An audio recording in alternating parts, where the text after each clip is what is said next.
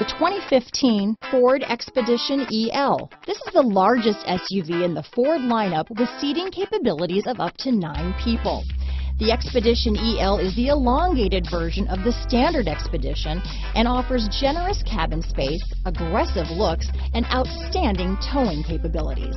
This vehicle has less than 95,000 miles. Here are some of this vehicle's great options.